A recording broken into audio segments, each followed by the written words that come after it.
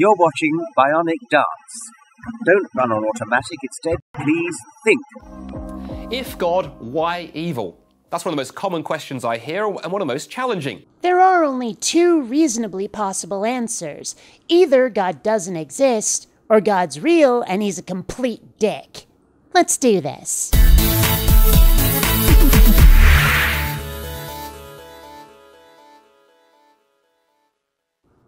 Greetings, fellow space travelers. Bionic Dance here. So, whence cometh evil? I'm not actually convinced that evil, as most people seem to define it, even exists. But we'll get into that a little later. First, we have to ask why a loving God would let things suck so badly. Often the questioner has looked around at the world and seen the suffering and injustice and pain and evil and concluded, how can there possibly be a God who is all powerful and all good given the state of things? Well, yeah. You'd think that a god who actually gave a shit would make things a little more Eden esque, a little more paradisey, don't you think? But when I hear that question, I often want to respond to the person asking it Have you thought about the nature of the word evil for a moment? You see, inherent in the word evil is the idea of oughtness. And this is why I'm convinced that evil doesn't exist. Well, except for William Shatner, anyway. Nothing ought to be a certain way because the universe does not, cannot give a shit, except that we're part of the universe and most of us do care. It's more accurate to say that there is no universal rule book all must follow. But if nothing ought to be a certain way and your God exists, wouldn't that mean that not even he can dictate the rules? Or are you saying that he's exempt from this little feature of the universe? And if so, justify that statement. When you say that something is evil, you're saying it ought not to have happened. It ought not to have been allowed. Telling me what I mean when I say something. to peddling. Look at what Hitler did. Look at what the Khmer Rouge did. Look at what happened in Rwanda. Look at the violence in the Middle East. That ought not to be the case. Well, sure, it ought not to have been, by my standards, by most people's standards. But why? Because it hurts. We have empathy, and we wouldn't wish that pain on anyone else, let alone ourselves. True, there is nothing inherent to the universe that agrees or disagrees with us, but to suggest that oughtness has to be absolute, objective, and inarguable is to misunderstand the word. But the problem is this if there is no God, if we live in a purely atheistic universe, then everything that happens simply happens. There is no ought to anything. Everything is simply governed by the blind, impersonal, uncaring forces of time plus chance plus natural selection. Nothing ought to be the case. And the existence of a God changes this how exactly? In fact, the very best you can say as an atheist is you don't like something. I don't like murder. I don't like ethnic cleansing. I don't like rape. But those are just my personal preferences. You can't call them evil because there is no way the world ought to be.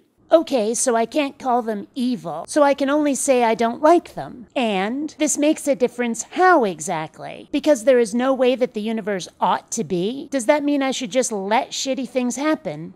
But if you remove God, as atheists like to do, there's really only two places that you can base morality. Either every human being gets to make up morality for themselves, and then the problem is you have seven billion little godlets running around or disagreeing with each other. I can see how that might be a problem, but does being a problem mean that it's not true?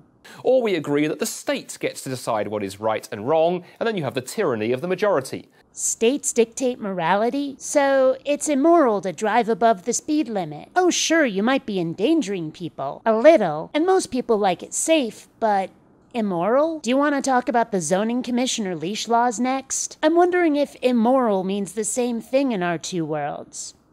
But in either case, whether it's the state or individuals inventing the rules, he said anytime anybody looks at you and says you ought to do something, you can look them squarely in the eye and say, yeah, says who? Uh huh, you can. I say again. And life sucks. Life's unfair. Cope. All moral claims, all talk of good and evil if there is no God, basically crash and uh, flounder and sink on the rock, on the reef of atheism. And the existence of a God changes this because I can still say, says who, and if someone tells me God, I can ask what gives God the authority to make up the rules. And I can ask how God's rules are any less opinion than anybody else's we all inherently know that there are such things as good and evil. Telling me what I know or don't know? It's a peddling. When we see injustice or murder or violence, our instinctive reaction is to say, no, it's wrong, it's evil, it ought not to be the case. That's not inherently knowing good and evil, that's empathy. You said it yourself before. In fact, the very best you can say as an atheist is you don't like something. I don't like murder. I don't like ethnic cleansing. I don't like rape. What more do you really need to declare that something is wrong, that it ought not to be the case? Can you show me how to tell the difference between thinking that something will be unpleasant and thus ought not to be, versus inherently knowing good and evil? It seems to me as though you're looking for certainty, and I don't think you're going to find it. And it also seems as though if you don't find it, you're going to make it up. But that primal cry that comes out from within us only makes sense if there is a God behind the universe who actually gives a foundation, a ground to good and evil and genuine morality. Then why do so many of the things your God does in this book trigger that primal scream? So the paradox is the moment that you raise the problem of evil, thinking you can use it to dismiss God, you actually end up arguing to God. That's only the case if you want to have a childish war of semantics. Good, evil, tolerable, intolerable, awesome, shitty. These words all mean essentially the same thing, except to someone who's trying to word game God into existence. The presence of evil doesn't lead us to atheism, it leads us to the recognition that there is a God and there are real moral values. Except that you're dodging what the argument actually is. The point is that the Christian claim about God is that he's all knowing, all powerful, and all loving. Yet pain and suffering still happen. In other words, the Christian claim is a contradiction, unless you'd like to assert that letting people hurt and die is somehow loving. If God exists and lets suffering happen, then either he doesn't know about it, can't do anything about it, or doesn't want to. And since the Christian claim is that God can and would do these things, then at the very least, the Christian God, as described, cannot exist. And yet you've dodged this argument entirely throughout the whole video. Either you're being dishonest, or you're being something it would be uncharitable to say regarding your intelligence. Maybe both. And then it raises the next question okay, if God does exist, if I can't escape that, what has that God done about evil and suffering?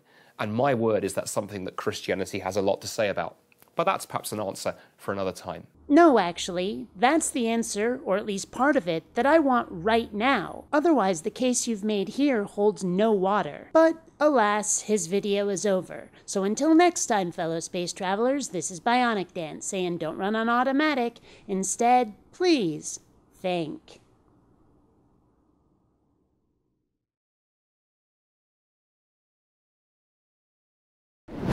And remember, if it can't be in your hand, it's all in your head.